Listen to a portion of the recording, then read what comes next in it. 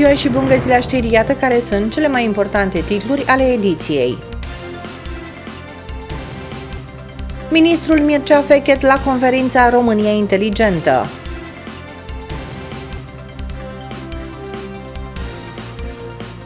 Percheziții într-un caz de trafic de droguri.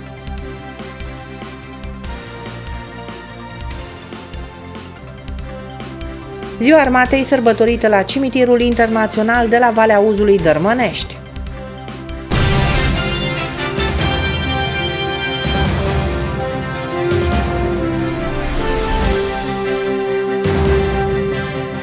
Vineri 27 octombrie de la ora 19 în sala Centrului Cultural Ion Talianu din orașul Târgu Ocna se va desfășura spectacolul cu piesa Chirița în provincie, care, după cum spune chiar autorul, este o comedie cu cântece, constituindu-se într-o explozie de lumină, culoare, muzică, umor și voie bună. Snobismul, lipsa de educație, lipsa de morală sunt defecte ale unei generații contemporane cu Vasile Alexandri, dar care, surprinzător și chiar trist, sunt întâlnite în lumea de azi în realitatea noastră. Cu alte cuvinte, este o comedie spumoasă care pune degetul pe rană. Vremurile se schimbă, dar năravurile ba.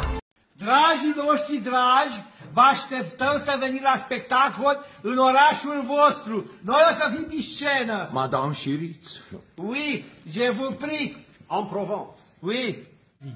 Pe 27 octombrie anul acesta merge la Târgu Ogda, la Casa de Cultură Ion Talia, nu! Veniți în număr cât mai mari! Répétez après moi. Le 27 de moi. Oui! Uite ia! Așteptăm. Veniți, bre! Vai, din și caldul.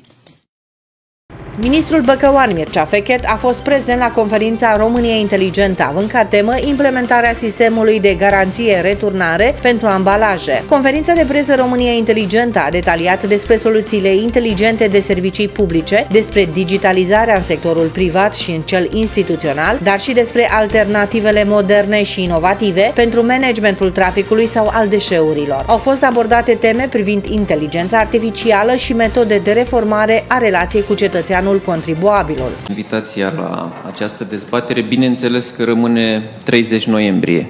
Este lucrul pe care l-am uh, spus uh, încă din prima zi a mandatului meu.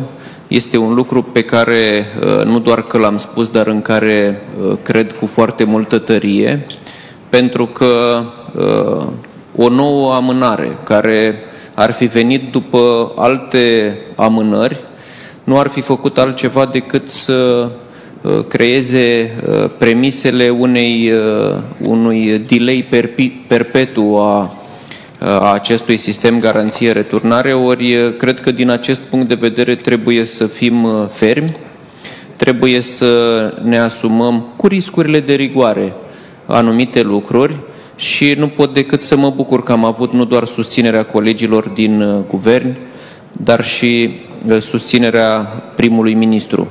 Așadar, uh, pe 30 noiembrie și mai sunt uh, doar 44 de zile. Primul PET, cel mai probabil, dacă ar fi să ghicesc ce o să introducem, care va fi primul ambalaj din cele 7 miliarde pe an pe care încercăm să le colectăm, sper să fie un PET, pentru că plasticul de departe este Uh, cel mai, uh, uh, cea mai nocivă materie atunci când este gestionată necorespunzător. Tocmai ce m-am întors astă noapte de la Consiliul de Mediu de la Luxemburg, unde poate nu întâmplător o, un subiect important al discuției de pe ordinea de zi a fost cel legat de gestionarea plasticului, cel legat de poluarea Uh, cu plastic, fie că discutăm despre microplastic sau macroplastic, fie că discutăm despre uh, sol uh, sau despre apă, însă un lucru e cert, în 2060, spun unii specialiști, în oceanele lumii va exista mai mult plastic decât pește. Iar din acest punct de vedere, noi, ca țară cu ieșire la Marea Neagră, ca țară care se bucură de câteva bazine hidrografice extrem de importante și bineînțeles că mă refer aici și la Dunăre și la delta Dunării, ar trebui să fim cu atât mai atenți și cu atât mai precauți și în ceea ce, și în ceea ce înseamnă plasticul. Însă, nedorind să mă raportez doar la peturi, eu cred că sistemul garanție-returnare înseamnă nu doar un angajament politic extrem de concret, înseamnă uh, nu doar un mediu mai curat pentru uh, cetățenii uh, din România, va însemna fără îndoială investiții și aici trebuie să dăm cezarului ce al cezarului și să spunem că efortul financiar extraordinar de mare ce a fost deja făcut și ce urmează a fi făcut în continuare este cel al uh, producătorilor și al uh, comercianților și al statului român, bineînțeles, în limita a 20% din uh, acțiunile companiei Returo, dar trebuie să precizăm că acest sistem înseamnă niște investiții foarte mari, care pe de o parte sunt, uh, sunt uh, făcute de mari uh, producători de băuturi din România și pe de altă parte, ca orice altă investiție, înseamnă o întreagă economie orizontală dezvoltată, înseamnă locuri de muncă, înseamnă acces la tehnologie și așa mai departe.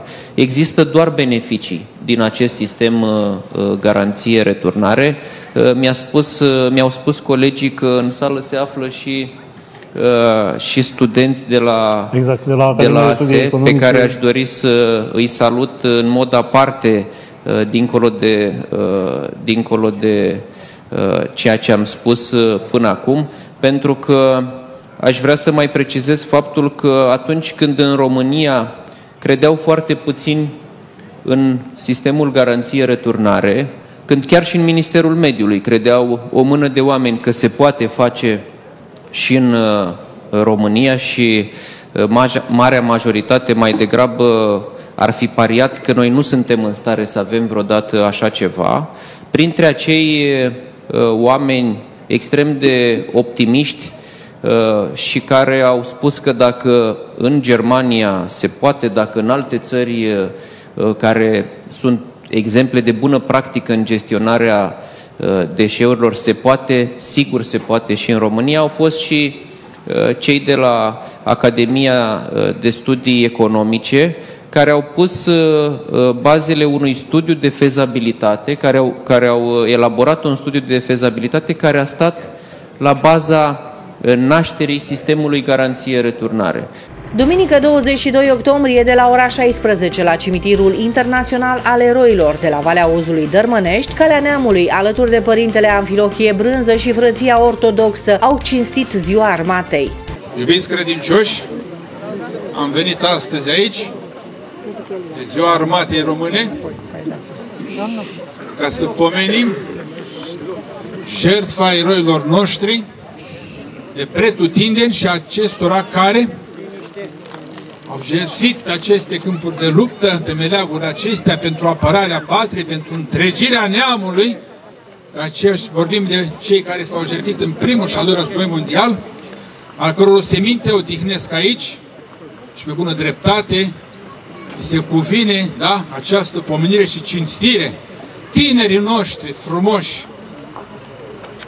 care au avut un ideal de luptă sfânt, convinși fiind alături de dorurile lor față de mamele de acasă, copiii lăsați, rudenile noastre, lor, lupta care au dus-o pentru apărarea gliei strămoșești în condițiile grele de atunci, în primul război mondial, au fost siliți să lupte sub armata germană, austro-ungar. În cel de-al doilea război au fost siliți să lupte sub gar, să dezrobească Bocovina, Transilvania din nord, de est, Basarabia, luptele de la Mărășești, Mărăști, Oituz, dar și de la Jiu, de Olt, din Dobrogea, ca să avem și noi o țară liberă, independentă, Și revenind la eroii mari, luptători ostași din valea, de pe Valea Uzului, a căror misiune de luptă a fost în primul război mondial să apere aceste trecători de la Ghimeș, Asău, Palanca, Agăș, până aici, la Valea Uz, ca să oprească divizia austro-ungară de a înainta în spatele frontului de apărare românesc de la Mărăști, la Mărăști, Mărășești și Uituz, unde s-au dus cele mai grele lupte, cunoaștem, cu armata germană, care încercuiseră de la Doaga, în câmp deschis, toată valea aceea, condus generalul Mackensen, cel ce a fost uluit, cum de a rezistat în inferioritate numerică, în inferioritate de tehnică militară, cu atâta vitejie ostași români. E bine, datorită eroismului acestor soldați români care s-au silit să nu lase să treacă grosul armatei, divizia 14 austro spre apărarea noastră românească, deci de apărarea acestor trecători a depins practic toată biruința. Iar de biruința lor a depins România Mare, favorită la 1918. A să înțelegem bine de ce este importantă cinstirea lor. Dragii mei, ne coborăm puțin în istorie, că din totdeauna biserica și țara întreagă, poporul român, a cinstit, după cum se cuvine, șerfa celor care s-au luptat din totdeauna pentru apărarea da? pământurilor strămoșești și a legii strămoșești. Lupta noastră a fost întotdeauna cu păgânii. Chiar și vecinii noștri întotdeauna n-au nutrit sentimente bune față de noi. Ștefan cel Mare, Marele Voievod al Moldovei, ca să dau numai un exemplu, nenumăratele războaie care le-a avut, ca să subliniez un aspect al cinstirilor, după lupta din 26 iulie 1476 de la Valea Albă, unde a fost atacat de turci, apoi de tătari și a fost învins lasă o pisanie extraordinar de prețioasă pentru noi. Spune el, dăltuind în piatră, ca mesaj peste veacuri, și au venit turcii, scrie acesta, să prade și să ia țara Moldovei și au ajuns până aici, la locul numit Valea Albă.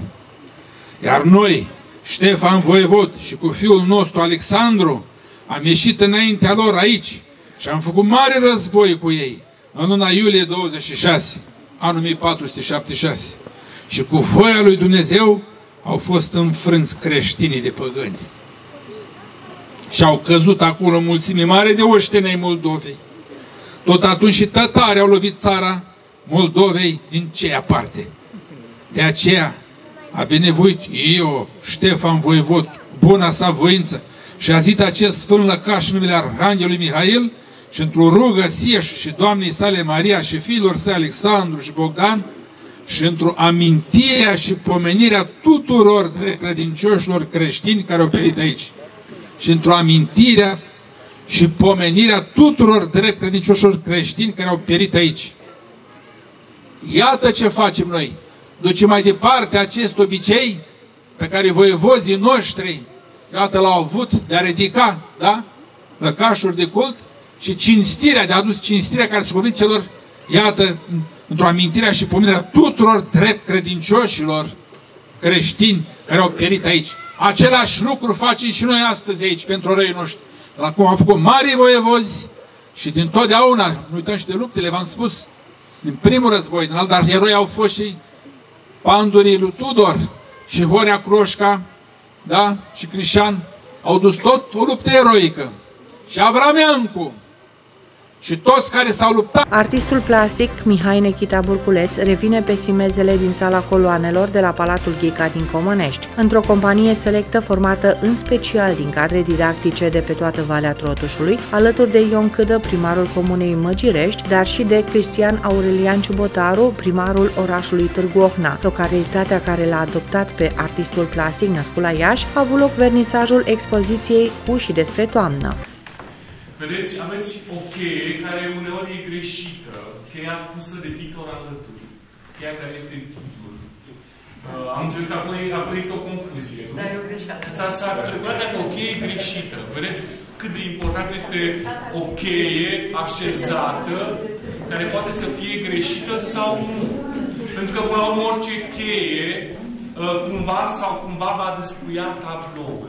Și dacă nu se potrivește cea de lângă căutăm alta și o găsim mereu în noi. O găsim mereu în noi pentru că uh, venim aici și cu sufletul și cu mintea, cu amândouă deschise, ca să plecăm mai bogați. Așa că luați acel copac, luați acei doi copaci. Cât de frumoși pot fi doi copaci. Acești doi copaci ne trimit în istorie înapoi uh, și este un mit care înconjoară lumea. Mitul celor doi copaci care pot fi eu cu pictorul, care putem fi noi toți, care suntem prieteni și care vrem niciodată să nu ne despărțim. Și multe, multe alte povești înconjoară acei doi copaci. Multe povești ale dumneavoastră. Vreau să vă mai spun dacă ați legat, v-ați legat de copaci. O legendă maramureșeană. Cei doi copaci, dacă doi tineri care se iubesc și unul moare, cel care trăiește este obligat să planteze la mormântul celui care a decedat doi pomi. Dragostea lor va rămâne în și buchetul acestor flori. Brâncuși, brâncuși, Degeaba spun, uitați-vă mai bine, a fost perioada comunistă, că poarta sărutului, nicio chestiune. Brâncu știa povestea aceasta. Deci dacă vă uitați la stâlp, o să vedeți ochiul respectiv. Și aici, și aici, și aici. Deci nu doi. E pomul respectiv și partea sărutului, prin sărut, care are un, un specific deja etern, cu totul altă roanță. Așa și cu copacii vă răspund la cei doi copaci. și cum a spus uh, Aurel mai devreme, uh, cel care privește are posibilitatea să creeze. Se uită la o lucrare și aduce din bogăția sufletului lui. Și tu poți să te uiți și să, să întrevezi, Maratonul Resuscitării. Prima ediție a Maratonului Resuscitării a luat sfârșit. În cadrul evenimentului, organizatorii s-au axat pe una din cele mai critice situații de urgență, este vorba de stopul cardiorespirator. Din nefericire, într-un astfel de caz, fiecare minut care trece fără manevră de resuscitare reduce șansele de supraviețuire ale victimei. Fiind martor ale unei astfel de situații, reacția dumneavoastră face diferența. În concluzie, cunoașterea manevrelor de prim ajutor este esențială pentru a putea acționa într-un mod responsabil și eficient în caz de urgență. Peste 50 de profesioniști din domeniul medical, medici, asistenți, paramedici, studenți la medicină și voluntari au fost prezenți pentru a-i ghida pe cei interesați în procesul de învățare. Peste 2000 de participanți au fost pe la punctele de instruire amenajate în cele trei centre comerciale mari din Bacău. Astfel, sub coordonarea formatorilor, aceștia au exersat recunoașterea stopului cardiorespirator și modul corect în care ar trebui să acționeze. Organizatorii au transmis calde mulțumiri participanților pentru interesul manifestat de problematica prezentată în cadrul evenimentului. De altfel, au mulțumit și celor care s-au implicat. Este vorba de Spitalul Județean de Urgență Bacău, Serviciul de Ambulanță Județean Bacău, Crucea Roșie Bacău, dar și școlilor sanitare din județul Bacău. Polițiștii Brigazii de combatere a criminalității organizate Bacău împreună cu procurorii DICOT Bacău au documentat activitatea infracțională a unor persoane bănuite de trafic de droguri. Pe 20 octombrie, procurorii Direcției de Investigare a Infracțiunilor de Criminalitate Organizate și Terorism, Serviciul Teritorial Bacău, au dispus reținerea pentru 24 de ore a doi bărbați, unul pentru săvârșirea infracțiunilor de trafic de droguri de risc și deținere de droguri de risc pentru consum propriu, iar cel de-al doilea pentru săvârșirea infracțiunii de de trafic de droguri de risc. În sarcina primului bănuit s-a reținut că în perioada 14 a 10 a 2023 și 20 a 10 a 2023 ar fi deținut pentru un consum propriu și în scop de comercializare cantitatea de 3,41 kg rezină de cannabis sub formă de fragmente de substanță solidă, plăci și fragmente de plăci precum și 0,85 kg fragmente de plante de cannabis, inflorescență și tulpin. La 20 octombrie i-ar fi dat celui de-al doilea 93,5 grame de rezină de cannabis cannabis pentru comercializare, moment în care s-a realizat prinderea acestora în flagrant. În urma percheziției domiciliare efectuate la locuința primului au fost descoperite și ridicate 3,32 kg rezină de cannabis formată din 35 de plăci cu masă de circa 100 de grame fiecare, ambalate în folii din plastic și 0,850 kg de cannabis în fluorescență și tulpin. În cursul zilei a fost sesizat judecătorul de drepturi și libertăți din cadrul Tribunalului Bacău cu propunerea de arestare preventivă a bănuiților pentru o perioadă de 30 de zile. Suportul de specialitate a fost asigurat de către Direcția Operațiuni Speciale din cadrul Poliției Române și Biroul Tehnic de Criminalistică din cadrul DICOT. Ca în fiecare toamnă, Biblioteca Municipală Radu Rosetti din Onești îi provoacă pe elevii oneșteni să-și afirme talentul și creativitatea, participând la concursul de proză scurtă, ediția a 25-a, organizată special pentru tinerii înzestrați și talentați ai Oneștiului. Nu rămâneți în umbră, dacă vă place să născociți povești, trimiteți-ne lucrările voastre și noi le vom răsplăti pe cele mai meritoase. Găsiți detalii despre condițiile de participare, termen termene și jurizare în regulament. Așteptăm cu interes participarea voastră și vă urăm mult succes. Este mesajul transmis de conducerea Bibliotecii Oneștene. Zilele trecute, deputatul PNL de Bacău, Cătălina Ciofu, a anunțat o veste extraordinar de bună pentru cadrele didactice. Este vorba de aviz favorabil acordat de grupul parlamentar PNL în Comisia pentru Învățământ de la Camera Deputaților pentru proiectul de lege privind salarizarea personalului din Sistemul Național de Învățământ de Stat. Începând cu salariile aferente lunii octombrie 2023, prin derogare de la dispozițiile din legea cadru numărul 153 pe 2017, salariile de bază aflate în plată pentru personalul care ocupă funcțiile de conducere, de îndrumare și control din învățământul preuniversitar se majorează cu 1500 de lei fiecare. Această măsură remediază discrepanțele care apăreau între grila de salarizare a persoanelor care ocupă funcții de conducere, respectiv director, director ajung și personalul didactic care beneficiază de sporurile specifice, grad dirigenție fiind semnalate numeroase cazuri de directori care au demisionat din funcțiile ocupate ocupate în favoarea funcțiilor didactice, transmite Băcăuanca Cătălina Ciofu, deputat PNL de Bacău.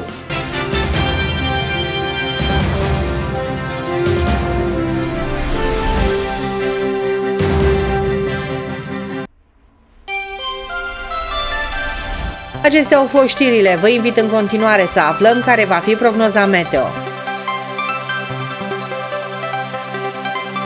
Marți 24 octombrie, vremea se mai încălzește, maxima zilei urcă până la valori de 22 de grade Celsius, iar minima pe timpul nopții scade până la 12 grade Celsius. Miercuri 25 octombrie, vremea continuă tendința de încălzire și vom înregistra o maximă de 27 de grade Celsius, iar noaptea minima coboară până la 12 grade Celsius.